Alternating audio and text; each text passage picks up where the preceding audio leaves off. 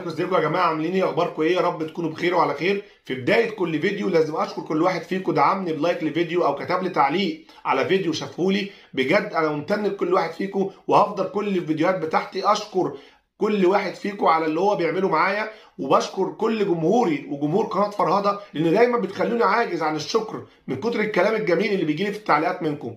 دايما مع بعض دايما إيد واحدة ودايما داعميني واقفين في ظهري ودايما سند ليا دايما القناة دي من تقدم لتقدم ومن نجاح للنجاح بفضلكم أنتوا لأن أصلا هي دي قناتكم أنتوا مش قناتي أنا. وأنا بجد بتمنى إن كل الفيديوهات اللي أنا بقدمها ليكم تكون بتنال رضاكم وتكون عند حسن ظنكم. ويا رب دايما متجمعين على الخير ودايما مع بعض من نجاح لنجاح.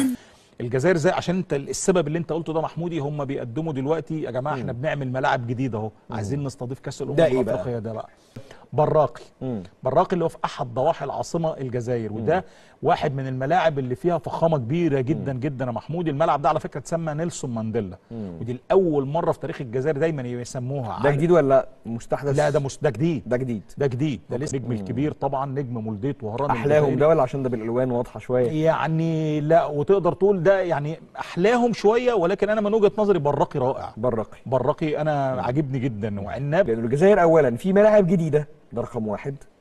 ثانيا بطولة المحليين في إطار السعي لمحاولة والصراع كبير بين الجزائر والمغرب على كأس الأمم الأفريقية في 2025 طرفنا عايزين يكون في ملاعب على أعلى مستوى ده اللي موجود. فإيه بقى الأخبار في الجزائر؟ ما بين الماضي والحاضر مم. الجزائر قبل كده استضافت كأس الأمم الأفريقية اللي إحنا عارفينها مش كأس الأمم الأفريقية المحليين سنة 1990 اللي توجد بقى الجزائر لأول مرة في تاريخها مع عبد الحميد كرملي كان على ملعبين فقط ملعب عنابة وملعب 5 جوليا الملعب الرئيسي الأكبر في صحيح. دولة الجزائر اللي في العاصمة الجزائر ولكن النهارده الجزائر زي عشان انت السبب اللي انت قلته ده محمودي هم بيقدموا دلوقتي يا جماعة إحنا بنعمل ملاعب جديدة اهو. عايزين نستضيف كأس الأمم؟ الافريقيه ده بقى. ده بتتفرج عليه ده ال ال ملعب عنابة. إحنا. هن... ده ملعب عنابة أوكي. اللي موجود معانا ملعب عنابة محمودي ملعب من الملاعب اللي قبل كده تم إنشاء سنة 1987 واستضافت كأس الأمم الأفريقية 1990 ده القديم. ده القديم ولكن تم تطويره ماشي. وتجديده في مدينة من أجمل مدن الجزائر جوهرة الشرق زي ما بيقولوا. وعلى فكرة لازم أنا كمان أحبها أكتر إن أنا في واحد بحب أسمعه لطفي دوبلكانون هو أصلا من مواليد عنابه. كمان. فعايز أقول لك إن الملعب ده تم تطويره وتحديثه بشكل رائع جدا حتى إن الملعب وأنت بتتفرج عليه من البساطه بتاعته تحس فعلا إنه ملعب هيبقى ملعب من الملاعب المحترمة تضيف كمان لدولة الجزائر لو كويس. انت حتى بتخش السبق بتاع شان 2025 إيه غير عنابة؟ براقي مم. براقي اللي هو في أحد ضواحي العاصمة الجزائر وده واحد من الملاعب اللي فيها فخامة كبيرة جدا جدا يا محمود. الملعب ده على فكرة اتسمى نيلسون مانديلا.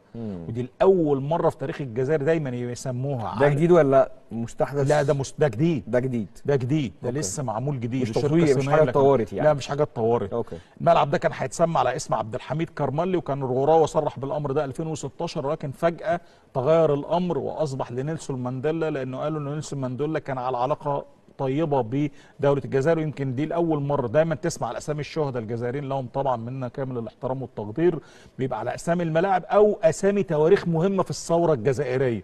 يعني 19 مايو صحيح، صحيح. 8 مايو لكن ده لأول مرة هيبقى نيلسون مانديلا واحد من الملاعب الجديدة المستحدثة ملعب براقي اللي بيسع ل 40 ألف متفرج وده ملعب من جوه حتى نظام الكراسي بتاعته والألوان اللي تم اختيارها فيه مريحة للعين بشكل رائع. يعني انت بتتفرج عليه من من بساطة التصميم تنبسط بشكل. الاستاد فده ملعب براقي. ماشي. تخش تاني على الملعب اللي بعد كده ملعب محمد حملاوي ده لينا فيه ذكريات حلوة على فكرة. مصر لعبت فيه المباراة اللي كانت في تصفيات كأس. العالم 90 وتعادلنا فيه. ده ملعب تم تجديده لأن الملعب ده أنشئ سنة 1973 وتسمى طبعا على الشهيد محمد حملاوي الملعب اللي موجود في مدينة قسنطينة مدينة الجسور المعلقة الجميلة طبعا. ملعب اتجدد وتحدث بشكل رائع عشان يبقى من مستضيفين لمباريات الشان في ال- الجزائر الشقيقة. أوكي. الملعب الرابع اللي معانا الملعب اللي إحنا شفناه في دورة ألعاب البحر المتوسط. ملعب ميلود هاتفي النجم الكبير طبعا نجم مولديه وهران أحلاهم. ده ولا عشان ده بالألوان واضحة شوية. يعني لا وتقدر تقول ده يعني أحلاهم شوية ولكن أنا من وجهة نظري برقي رائع. برقي. برقي أنا عاجبني جدا. وعنابك يعني والله مش عايز أقول واحد فيهم معين. لأن كلهم ملاعب جيدة جدا هيضيفوا كتير جدا للمنتخب ال- الجزائري كمان في المستقبل من أجل المباريات. وشفنا المنتخب الجزائري في مع جمال بالماضي لعب عليه مباريات مؤخرا. مع مجيد بوجرة كمان هم بيبحثوا أكتر على إن هم يطلعوا لعيبة ولكن المشكلة اللي ممكن تواجه مجيد بوجرة في البطولة محمودي كمان أحمد قندوسي النجم الكبير وهداف الدوري الجزائري مع وفاء سطيف عنده مشكلة كده وبيبحث عن عرض احتراف. لو احترف مش هيقدر طبعا يلعب في بطولة المحليين. نتمنى طبعا للجزائر المغرب رايحه بالمنتخب الأولمبي؟ آه بالمنتخب الثاني برضو بتاعها منتخب المحليين يعني. والله. آه آه بالمنتخب بتاع المحليين فريق عرب ونتمنى طبعا لدولة. الجزائر ت- لأن الجزائر أولا في ملاعب جديدة ده رقم واحد. ثانيا بطولة المحليين في إطار السعي لمحاولة والصراع كبير بين الجزائر والمغرب على كأس الأمم الأفريقية في 2025 طرفنا عايزين يكون في ملاعب على أعلى مستوى ده اللي موجود. فإيه بقى الأخبار في الجزائر؟ ما بين الماضي والحاضر مم. الجزائر قبل كده استضافت كأس الأمم الأفريقية اللي إحنا عارفينها مش كأس الأمم الأفريقية المحليين سنة 1990 لتوجد بقى الجزائر لأول مرة في تاريخها مع الحميد كرملي كان على ملعبين فقط ملعب عنابة وملعب 5 جوليا الملعب الرئيسي الأكبر في صحيح. دولة الجزائر اللي في العاصمة الجزائر ولكن النهارده الجزائر زي عشان انت السبب اللي انت قلته ده محمودي هم بيقدموا دلوقتي يا جماعة إحنا بنعمل ملاعب جديدة اهو. عايزين نستضيف كأس الأمم بقى؟ الأفريقية ده بقى.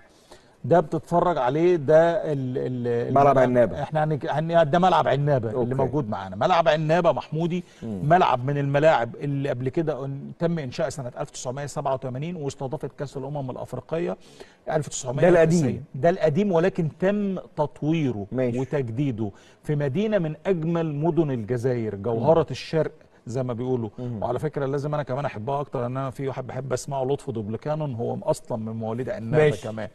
ف عايز أقول لك إن الملعب ده تم تطويره وتحديثه بشكل رائع جدا حتى إن الملعب وأنت بتتفرج عليه من البساطه بتاعته تحس فعلا إنه ملعب هيبقى ملعب من الملاعب المحترمة تضيف لي كمان لدولة الجزائر لو كويس. انت حتى بتخش السبق بتاع ماشي. 2025 إيه غير عنابة؟ براقي. مم. براقي اللي هو في أحد ضواحي العاصمة الجزائر. أنا في نهاية الفيديو أتمنى إن يكون الفيديو عجبكم. لو أول مرة تشوفوني يا ريت تعملوا لايك للفيديو واشتراك في القناة وتكتبوا لي تعليق محفز. يشجعني. السلام عليكم.